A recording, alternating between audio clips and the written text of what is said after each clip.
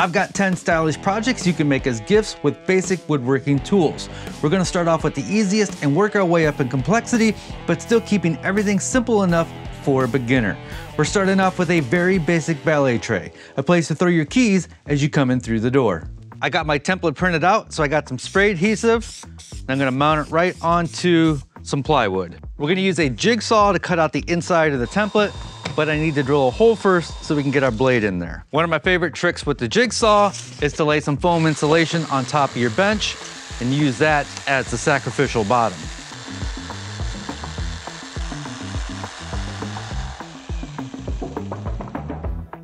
And I'm cutting as close to the line as I can without touching it so I can sand down to the line.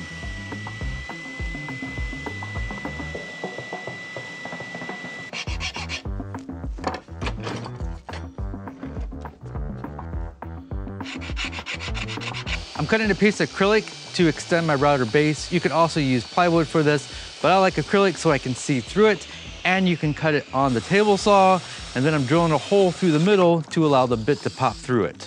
And I'm just gonna use some double-sided tape to attach it right to the existing base. I've got a bowl bit in my router with a bearing on the router side, and that bearing is going to ride right along our template. So I'm gonna find a good spot where I like the grain, and then I'm just gonna double side tape my template right down to the wood. And we're gonna do this in multiple passes.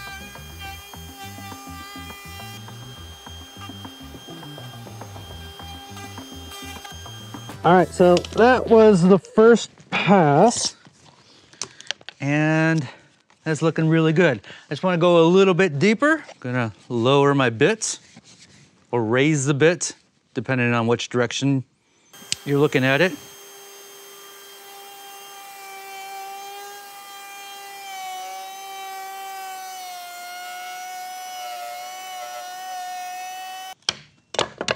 And there we go. Now we can cut out the outside shape. I printed out another template that I'm gonna use some spray adhesive and attach it to my wood so I can get my outside line. And then we can cut this out either with a jigsaw or a bandsaw.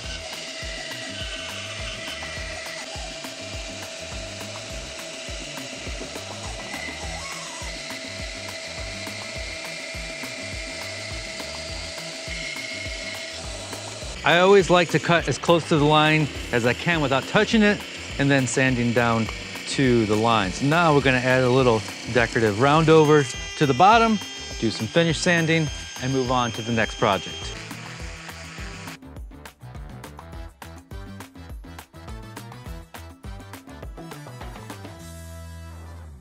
Up next, we're making a decorative bandsaw box to sit on a table or a desk. It can be difficult to find wood thick enough, so I'm cutting a bunch of pieces so I can laminate them together.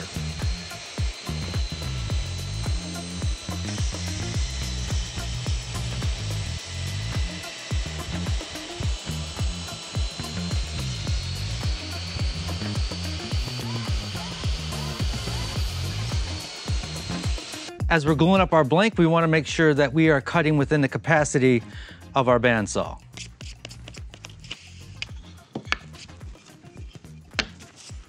And then let that sit and dry for an hour or so. Now that the blank is dry, I'm gonna take our paper template and attach it right to the box. I like to take the bottom of the template and align it with the bottom of the box. Just means less cutting. Cut just outside the line, nice and slow, let the blade do all the work.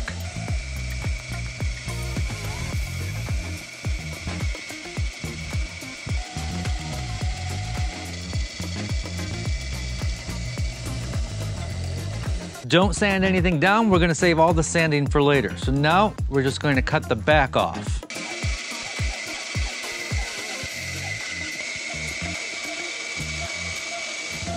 Now with the back off, I'm gonna cut out what's going to be the drawer. I'm gonna go with the grain and I'm gonna enter from the side, come all the way around, and then stop when I meet that entry cut. With this cut, you wanna go right down the middle of the line and try to stay on the line as fast as possible.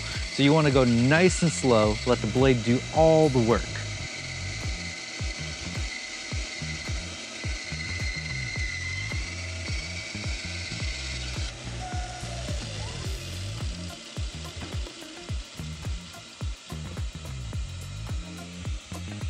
So for the drawer, I cut off the front and I'll cut off the back and then I'll scoop out the middle.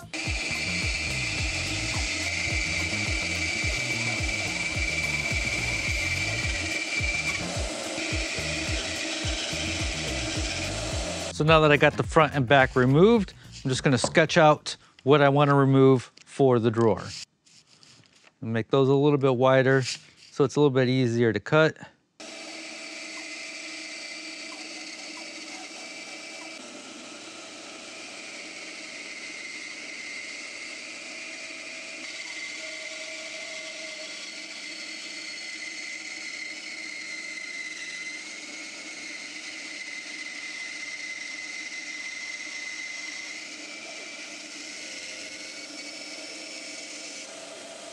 So now I want to get some glue in that gap, close that gap, and then glue on the back piece.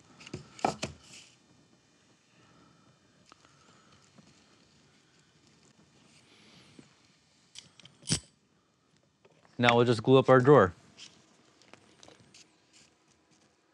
Try to line everything up as best you can.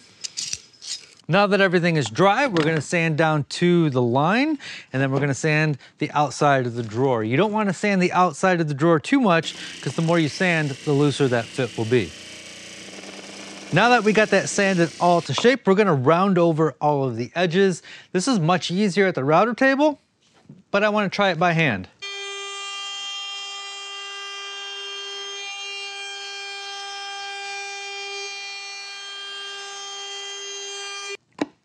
And look at that. All right, so I'm gonna do some final sanding. We're gonna flock the inside of the shell and the inside of the drawer using this red adhesive and then these red flocking fibers. I like to flock the inside of the bandsaw box that tightens up the fit. Plus, that means a lot less sanding to do. So we're gonna take this outside because these red flocking fibers, they're so fine. I don't want this floating around in the shop. And then we're gonna load it up into the flocking gun and then force it in there.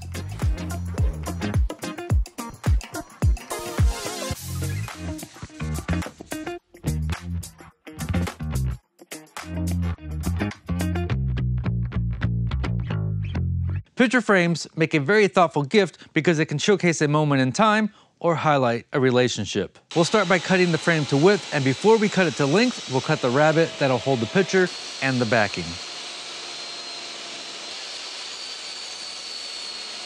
All right, so we got our maple cut up for this picture frame. You could do this groove with a router. I always prefer to do it with a table saw. This picture frame is for square photos, so all four sides are gonna be the exact same length. I got my miter gauge set to 45 degrees. I got a little stop here clamped to my fence, and I would just use that to make sure all my pieces are the exact same length.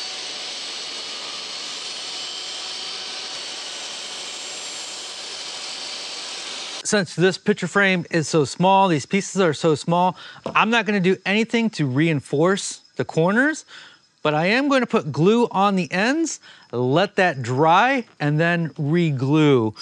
This will fill up the end grain and will just create a stronger joint because that end grain likes to soak up all that glue. Now that that has had time to dry, we're gonna actually glue these together.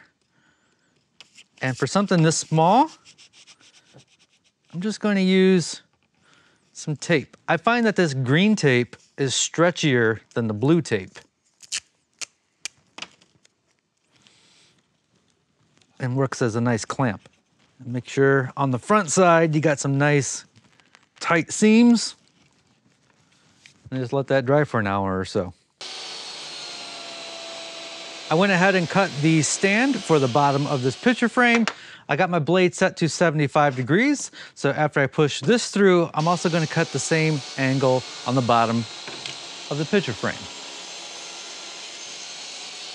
I'm just gonna eyeball this up here so it cuts off just enough to put that angle on there.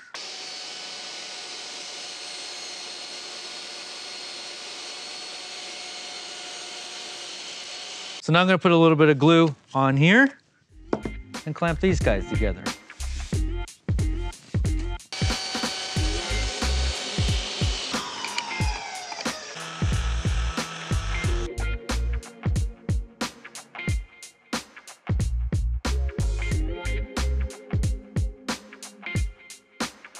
I've got more projects that you can make coming your way, but first, a special message from Wally, Duke, and I from today's sponsor, Sundays Food for Dogs. It's actually Duke's birthday today. Make sure to wish Duke a happy birthday down in the comments. We don't know how old he is, he's adopted. You four or five? Unlike regular kibble or those messy frozen foods, Sundays offers something totally different. It's 100% human grade made from real whole foods. We're talking about the kind of ingredients you can actually pronounce. Just look at this list of ingredients. These are foods that I would actually eat. The best part, it's no fuss at all. There's no prep or mess. It's just healthy and super easy to serve. It's air dried and not frozen or cooked to preserve all those nutrients and flavors. We have two wiener dogs, Duke and Wally, and both of them have health concerns. Duke has thyroid issues and Wally has allergies and a sensitive stomach. So what we feed them is extremely important to us. And even if they didn't have health concerns, what you feed your family should matter. I've got a special deal for everybody looking to give their dogs the best. Get 50% off your first order of Sundays. Just go to sundaysfordogs.com slash make something. Trust me, your dogs are going to love it. Plus, they have free samples. All you have to do is cover shipping and handling to give it a try. That link is down below. Click on it and get 50% off. We got to get back to work, guys. We got work to do. Yeah, even on your birthday, we got work to do. I'm gonna live forever. I'm gonna learn how to fly, fly. Who doesn't sing to their dogs? no! no! Analog clocks are beautiful and timeless. We're gonna do something a little bit different and make one that sits on a desk or a table.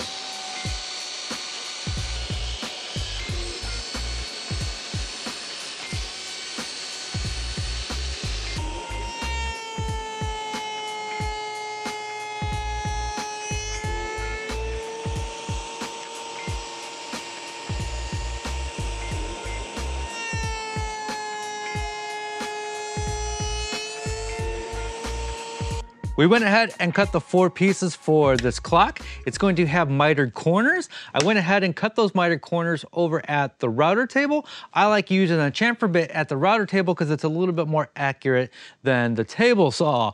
So now we're gonna cut a groove into all these pieces to accept a piece of 1 8 inch plywood. I got my blade set to cut about halfway up into the wood and I'm going to move my fence over so it's about a half inch from the edge lock that down, and then we might have to make multiple passes to accept the plywood. So that is not thick enough to accept my plywood, so I'm just gonna nudge my fence over just a touch. That fits into there, so now we just need to cut our plywood to size. I printed out my clock face here and I'm just gonna rough cut this out. So I got that cut out and I'm gonna set my board on top here and I'm gonna center that on there. And I'm gonna use an X-Acto knife and cut it to the exact size. And I'm just gonna use some spray adhesive. Just gonna add the glue to the miters. I'm not gonna add glue to the groove that we cut because I don't want any glue seep out to get on our clock face. We can just use tape to hold that together while that dries. We're going to mix up some epoxy and just pour it right on top. That paper is gonna get wet and some of the wood is gonna show through. I'm gonna be okay with that. And then we'll get rid of some of those bubbles. So now that the clock is dry, I'm gonna try to drill a hole right here in the center. Whoop. The clock hands that I have for this are just a little bit too big, so I'm gonna nip them down. So I'm stick that through there. We're just gonna hand tighten that down. If you wanna make this a wall hanging clock, you could glue on a little piece of wood on there so you could mount that to the wall. I kinda like it as like a little desktop clock and I ain't gonna put it back on it. I'm sure some of you are gonna have major opinions about that.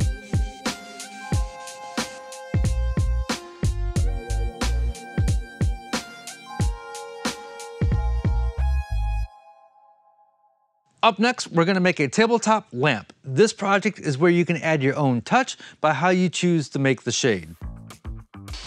To start this off, we're setting our blade to 60 degrees and cutting three slats to width and length.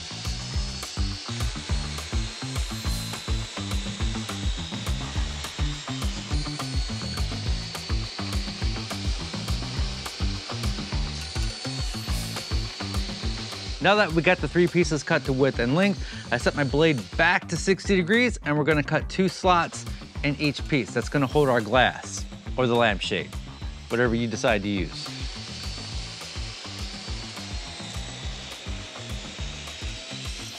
If you're gonna use glass for your inserts, now's a good time to cut that glass. I've done that in the past. This time I'm gonna do something a little bit different and I'm going to use wood veneers. But I need something temporarily cut to width so I can put this together and draw my base. So I've got some 1 8 inch plywood that I'm gonna cut to width here and then that's just gonna be a spacer so I could cut the bottom. If you have a thin kerf blade in your table saw, you might have to run that through a couple times to get that width wide enough to hold 1 8 inch glass.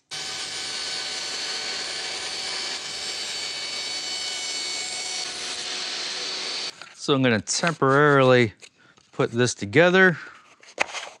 Now we can use this to draw our bottom. I don't have a piece wide enough for the bottom, so I'm gonna glue two pieces together to make it wide enough. So now that the base is dry, I can set this on here and I can draw the outline of this. I can add a quarter of an inch, create a little lip, and then we'll go cut this out on the bandsaw.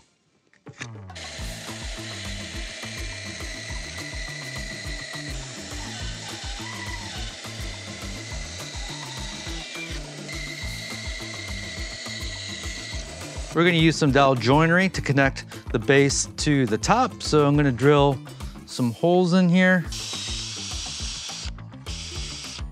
Now I need to drill a hole for the lamp. So I'm just gonna find the center here. So that is going to go through just like that. So I got a rubber band on here to hold this together temporarily. And then I'm gonna flip this upside down gonna use my fingers to find center here, and then I can get the hole started from underneath.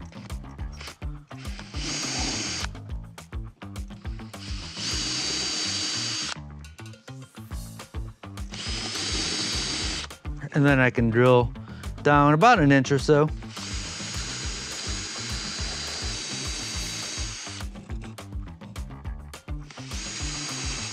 I went ahead and put a chamfer on both sides of the bottom so now we're gonna glue this guy up.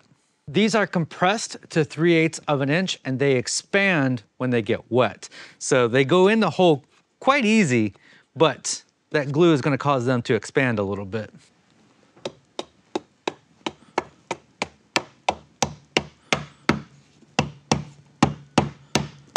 I have some of this yellow dyed veneer that will drop right into there. I can mark my line here. All right, so we're gonna put a little bit of hot glue in there. We're gonna push this up in there as far as it will go.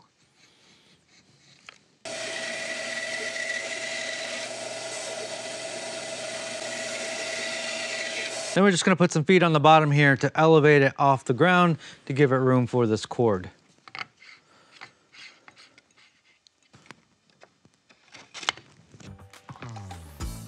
Freaking cool is that? That is stunning. I think this is butternut, but I'm not 100% positive. Make sure you're using a bulb that doesn't get hot, like a traditional bulb in there. Probably gonna get a little too hot for that veneer, possibly burn, burn your house down. I don't want you burning your house down. That's why the first time we made this, we made it out of glass.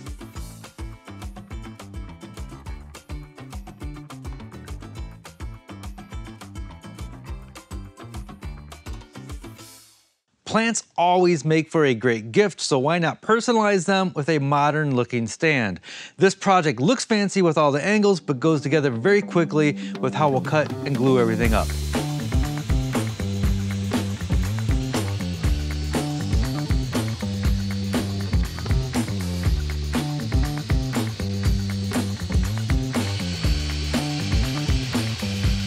I've got my nine pieces cut for this planter. So now I'm just gonna add some decorative angles here. I'm just following along with the plans and we're gonna cut this out at the bandsaw.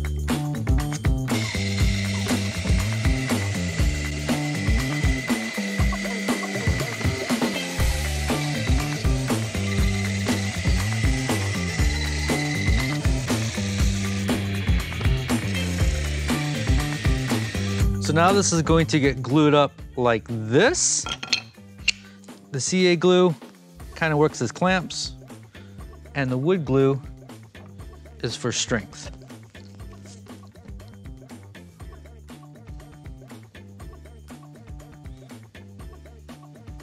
Because we got that CA glue in there, that only needs to be clamped up for about a minute or so. Now that that is dry, we can add the four legs, again, with some CA glue and some wood glue.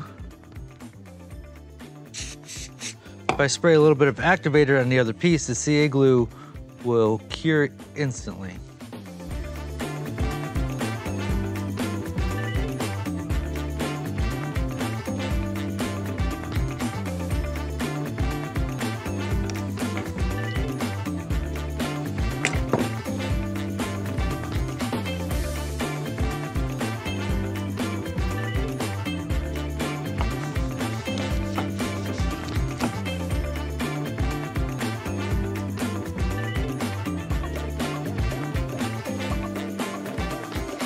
There are plans and templates for all of these projects, link below in the description.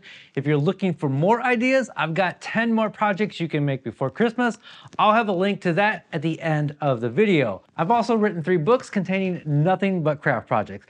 I've got you covered if you are looking for the perfect handmade holiday. I just started my biggest project ever. We bought a house that we cannot use until I make every single piece of furniture in it. We're talking bedroom furniture, chairs, cabinets, cutting boards, art, shelves. If it can be made of wood, I'm going to make it. And you'll have a chance to stay at this house, judge my work firsthand, and even have a chance to work with me in my shop. This is all starting in late 2024.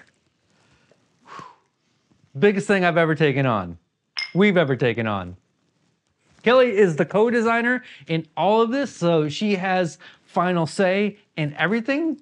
She's she's more like she's more like the the main designer, and I'm like the assistant designer. It's it's been it's been fun so far. We we have we have the exact same taste when it comes to design. There's nothing it's it's it's super insanely rare that one of us likes something and the other one doesn't. So we we we like the same stuff. So that's good. The package that'll contain the work in the shop with me experience will be limited to just once a month. I'm only one person, I can only do so much. So Patreon members will get to jump to the front of the line, and the longer you've been a Patreon member, the further up that wait list you go. So if you've been a Patreon member for five years, you'll probably have first dibs at staying at our new house and working with me in my shop. I feel like I'm already friends with my Patreon members, so it'll make it a bit more of a comfortable experience for me. If you've ever met me in person, you know that I can be awkward and a shy dude sometimes. Awkward silence. so this is this is my way of reducing the mental demand of this crazy thing that we're about to do. I'm still working out all the details on what projects we'll do together in my shop, but I've got plenty of time. So we are two videos in on that new house series, plus an intro video that tours the house and goes over the whole game plan. There's a link to that playlist at the end of this video. This series has totally re-energized me on woodworking and making videos. There's just an endless amount of content to be made and it's pretty cool that I get to start off with a blank canvas. It's a pretty unique experience. Another cool thing about that house is the garage is going to be my budget-friendly shop with cheaper woodbreaking tools. My main shop has all the big fancy tools. Some of y'all like seeing the big tools and the endless possibilities, and some of you have been telling me to work with more budget-friendly tools. So now I can accommodate both people. And you'll notice that in this video, I was working with a different table saw. I bought a Wen. I actually bought all the Wen woodworking tools, all of them. And my next video that's coming out, I'm reviewing them as a, as a whole. They, they're like the cheapest, some of the cheapest woodworking tools that you can get, but they appear to be well made, so I'm gonna put them to the test and we'll see which ones are good and which ones are no good. And since I paid for everything, they don't know who I am. It's not sponsored. It'll be it'll be an honest review. Many of you have probably already jutted, you've left, but those of you who are still here, you are my kind of people. If you hold on just a little bit longer, I've got a gift for you. It's been a year of ups and downs. Over the summer, we lost my grandpa Picciuto. He was one month away from being 101 years old. My woodworking grandpa Picciuto, he was woodworking at 100 years old. That's just crazy. I've always said when I grew up, I want to be like Grandpa Picciuto. Grandpa was just a huge inspiration for me. So lots of ups and downs this year. 2024 it's gonna get crazy. I am so excited about 2024. I feel like we're making the best videos that we've ever made. If there ever was a year to blow up, I think it's gonna be 2024. We got a really good content strategy. We got all the crazy projects at the new house. There's big projects and little projects. Then we got the budget shop over there and then the unlimited shop here. I just, I feel, I'm just super excited about 2024. I think we're on the right path. Over the last 10 years, it's just been a, there hasn't been a blow up year. It's just been a steady, steady ride the whole time. And if we don't blow up next year, well, doesn't matter. But if there ever was a year that we were gonna blow up, I think it's gonna be 2024, and I'm insanely excited. I still have three more videos planned in December, but I probably won't do a little talky talk. So I just wanted to say Merry Christmas, Happy New Year, and let's blow up in 2024 together. Not just me, I hope all of you have a great year coming up. Fruitful, profitable, fulfilling, whatever you're looking for in 2024, I hope that you get. Kelly is not mic'd up, so even if she did talk, you wouldn't be able to hear her. But anyways, say hello to Kelly, say happy birthday to Duke, and as always, be safe, have fun, stay passionate, and make something. Where's Wally? Wally, come here. Here's something that you might not know. Wally's original name, Wally's actual name is Walnut, named after my favorite wood. But Walnut didn't roll off the tongue like Wally, so we've just been calling him Wally since day two. All right, you're done. His contract states if he's on camera for more than 30 seconds, he gets. If you're still here, use coupon code I made it to the end for $5 off anything in my store. Most project plans are $5, so that means free. That coupon code will expire at the end of the month and it's limited to one per person. Again, Happy New Year, Merry Christmas, Happy Holiday, whatever you celebrate. Have a great holiday and the best 2024. As always, be safe, have fun, stay passionate, and make something. Cheers. That's a lot of talking at the end of the video. Not for you. I don't normally do that. If you want to see more of that, more of just the casual conversation, let me know. It's probably not good for the analytics though. I would say, well, I'll look at the graph, but i w- I'm going to guess most people left as soon as the action stopped. That's, that's what usually happens. But if you stuck around, cheers.